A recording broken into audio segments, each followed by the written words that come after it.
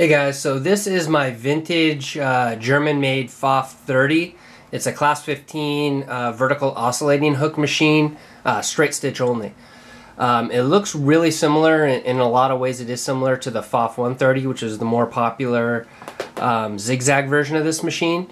Um, but I think this one, for certain applications, I, I think it's a better better machine. If you need straight stitch only, then this is going to be a better machine than the Pfaff 130 without a doubt. Um, for those applications where you need zigzag, obviously this this isn't the machine, but um, I don't know if you've seen some of my other videos, you you know that I have quite a few others. Uh, but my real preference is, is towards the Pfaffs. I just think the fit and finish of the parts um, and all the components is just of a higher quality than than the Singers. Um, the Necchis and and uh, I don't know the Adlers are pretty comparable, but um, I don't have any straight stitch Adlers. I just have um, a couple of zigzag stitch ones, and but in terms of the straight stitch, this is probably my most favorite straight stitch machine right now. Uh, I like it even better than the two, Singer 201, which is a phenomenal machine. Um, really like that one, but the pro the only issues that I've had with it really are that uh, the potted motor isn't as powerful. It's a 0.53 amp motor um, directly gear driven, and it it's it's doesn't have as high a top speed as the Pfaff, and it doesn't um, have as much penetrate penetrating power as the Pfaff. Um, that's because these these machines, the 130 and a lot of the other Pfaffs, they're made in Germany and they didn't import them with motors because uh, they don't use the same voltage here um, in Germany. So they outfitted them with American-made motors. You can see this one's made in the USA um, which is the original. It's a uh, 1.3 amp motor, which is really powerful. You're talking over two and a half times the power of the um, Singer 201 or any of the or the Singer 1591 motor. 5,000 RPM. It's a it's a 1 15th horsepower motor. So the thing has is has high speed. It's very controllable. Um, and and it's it's uh, has great penetrating power. The other thing about it too is that this the 130 and also this Pfaff 30 they don't use steel um, hand wheels these flywheels here. They actually use a plastic um, type material. Um, now the the reason and and the machine feels differently because of that and the reason is that because that hand wheel doesn't have any weight to it it accelerates quicker but it also decelerates quicker. So as soon as you let go of the the, the foot pedal as you're sewing the machine stops like on a dime. So you have a lot greater control with that um, with that low weight hand wheel as opposed to having something really heavy duty where it takes a lot of power to get the thing spinning, but it also but it, and then it carries momentum when you stop um, when you let off the pedal. So. Uh, it's a class 15, so it uses a class 15 bobbin, which are really high capacity bobbins. This is actually one here. This is the highest capacity bobbin of um, of any uh, domestic sewing machine, and this is the same bobbin size for a lot of actually uh, industrial sewing machines. But you can see it's got a vertical oscillating hook, um, which is actually better for thicker thread. This one is, is pretty unique in its design. This is really well engineered here.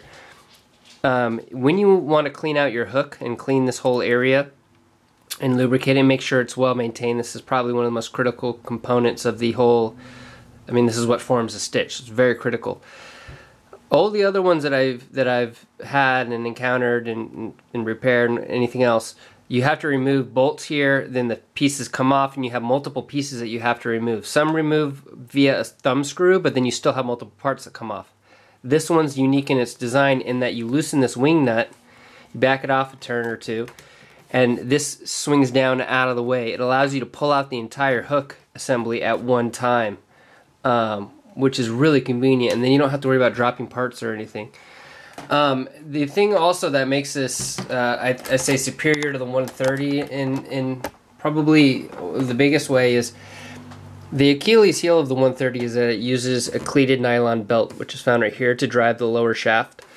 And the problem is that those are made out of nylon, and over time, you're talking a 56 year old machine that those belts break, and once they break, there's nothing you can do. That they're done the machine's done. Uh, I think there's one guy selling replacement um, belts, but I don't even know about the quality, how easy they are to install, whatever. So um, this thing is fully full steel. Everything in here is steel, the exception of the hand wheel um, and you know the tension knob. But everything else is steel, so it's super robust. You're not going to have to worry about parts breaking. Like let's say you were to take this out.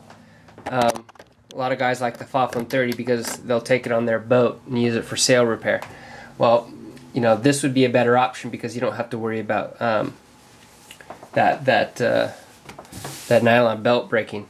But anyway, it, it, shares a lot of similarities to the Pfaff. You can see this one is in phenomenal condition. That's why so I picked it up a while back and that's why I like it so much. It's rare to find them in this good a condition where the you can see how glossy that is. All the chrome on it is really, really good.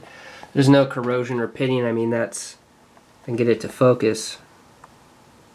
I don't know what's wrong with this camera lately, but, but yeah, so the whole thing is, uh, is excellent. And I actually adjusted this one. It's got really high pressure foot lift.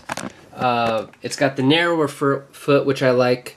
Um, that's found on like the singers. So it's got a narrower foot, open toe in the front, so better visibility, uh, more aggressive feed dogs. You see, these are more industrial style feed dogs. Um, it's got a drop here, a knob on the top, so you can drop the uh, feed dog, so you can do free motion embroidery, um, and then has an automatic bobbin winder there. Two spool stands. Um, the machine's awesome.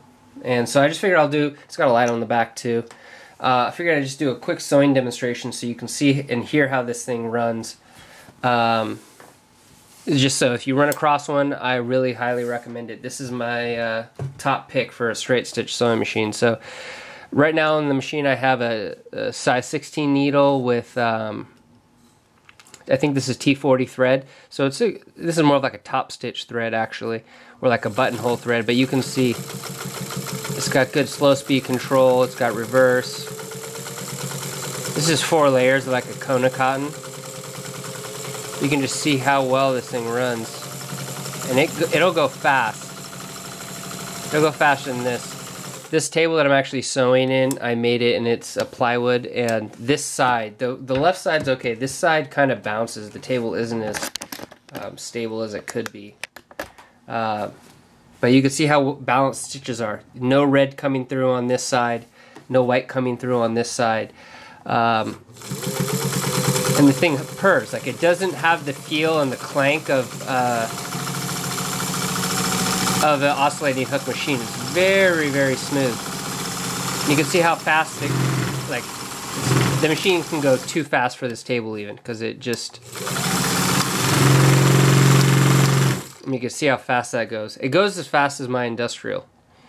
Um, but uh, if you had a more stable table, and I have one that's actually more stable than this, uh, the original table, and that is a better option than, than this plywood table but I just wanted to stitch on this so you can see what it's capable of so that's um, four layers that maybe go to eight layers just so you can see it'll handle that no problem as well So, and you can see how it stops on a dime. I go from a high speed to a dead stop just by letting go of that foot, and that's because of the low mass hand wheel. And then again, you can see for these stitches here, really good. I mean, phenomenal. And you can't tell where I went from four layers to where I went to eight layers. Um, so that's a, it's really good material. This is a um, thousand, or this is a ballistic nylon that's got a really heavy backing, waterproof backing on it, super durable. I mean, it just plows through this, no problem. So, just a couple layers. What else do I got? So you can just see what I can do. Oh, this is a uh, a really heavy weight. This is like um, a really heavyweight vinyl, like a signage material. This is actually is really good for like the liner of like um, a messenger bag or something, a waterproof liner. Um, but you can use it for upholstery too. It's not as good for upholstery, but we do do three layers of that. It could do even more. It could do four. Let's just do four then. Although I just realized it's red on red, so you may not be able to see it so well. But uh, that's okay.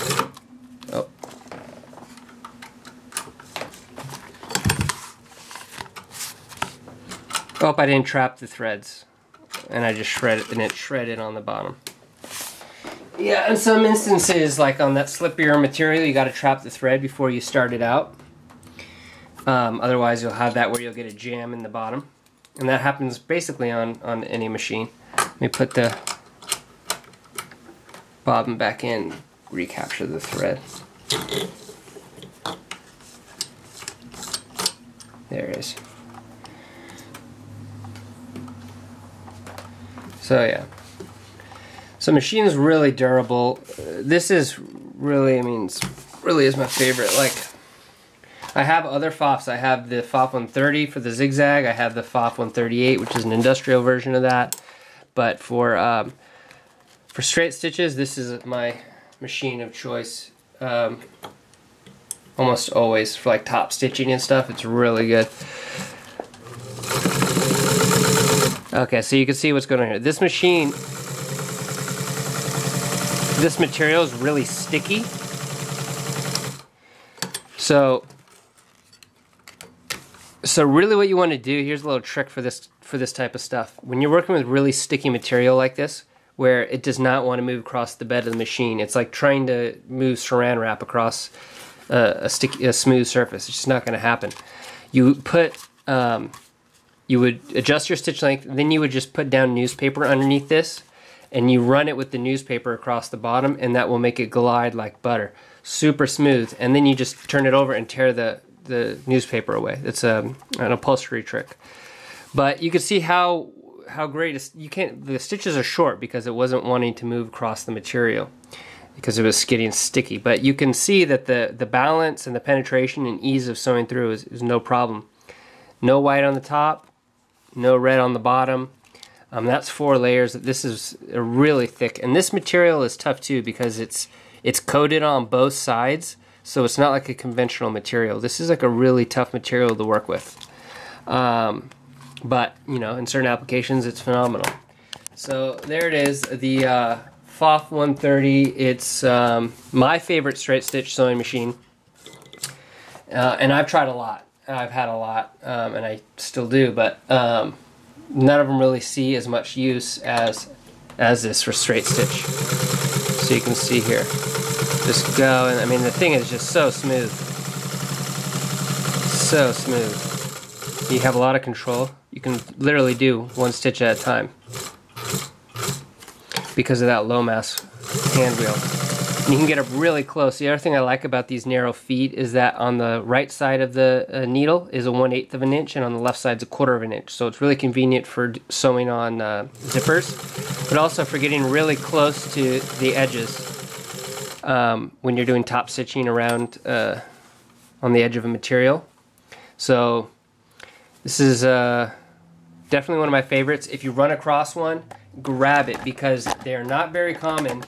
Um, definitely not as common as like a Pfaff 130, but they also don't have the um, the issues that you're going to run into uh, with the Pfaff 130. The, you know, the Pfaff 130 gets really tight, it gets really sticky. Um, there's a lot going on internally, and the machines tend to freeze up. With the Pfaff 30, they're a lot simpler design, so you don't have to worry about um, stuff freezing up on you. You don't have to worry about belts breaking. Um, the majority of sewing, I would say 90% of the sewing that you're going to be doing is going to be a straight stitch.